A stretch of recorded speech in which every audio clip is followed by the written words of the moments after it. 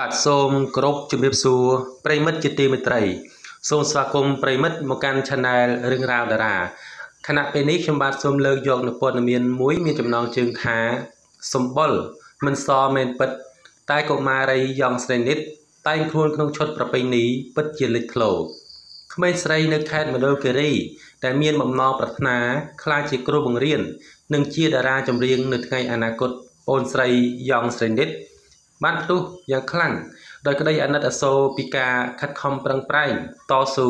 តើលក់ចេកឆាបដើម្បីផ្គត់ផ្គង់ជីវភាពគ្រួសារថែមទាំងមានរូបសម្រស់យ៉ាងស្រស់ស្អាតដោយកូនកាត់យ៉ាងដូច្នោះក្រោយល្បីមិនបានប្រមាណផង ពេលនេះ ក្តីប្រាថ្នារបស់នាង កំពុងតែតែដើរទៅបន្តិចម្ដងបន្តិចម្ដងហើយ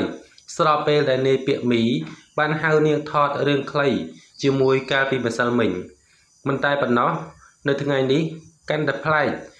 ខណៈពេលដែលកុមារីរូបនេះត្រូវបានគេហៅថតសំអាងការ ដោយបានតុបតែងខ្លួនយ៉ាងស្រស់សោភាជាមួយគ្នានេះដែរឃើញថារូបសម្រស់ក្មេងស្រីរូបនេះពេលតុបតែងខ្លួនបែបនេះ មើលទៅពិតជាប្លែកនិងស្អាតខ្លាំងទោះបីជាសម្បុរមិនសយ៉ាងណា តែនាងពិតជាលេចធ្លោខ្លាំងជាមួយនឹងសម្លៀកបំពាក់ប្រពៃណីអមជាមួយនឹងទឹកមុខ យ៉ាងគួរឲ្យស្រឡាញ់ផងនោះទន្ទឹមនឹងគ្នានឹងនេះដែរមហាជនជាច្រើន ដែលឃើញហើយនាំគ្នាសរសើរនិងជូនពរដល់ប្អូនស្រីឲ្យជោគជ័យ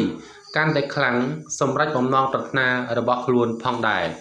បាទអស់លោកនាងកញ្ញានិងប្រិមិត្តជាទីមេត្រី បាទនេះគឺជាព័ត៌មានដែលពាក់ព័ន្ធនឹងប្អូនស្រីម្នាក់ដែលនៅខេត្តមណ្ឌលគិរី ដែលទទួលបាននៅការចាប់អារម្មណ៍ជាខ្លាំងនៅក្នុងបណ្ដាញសង្គម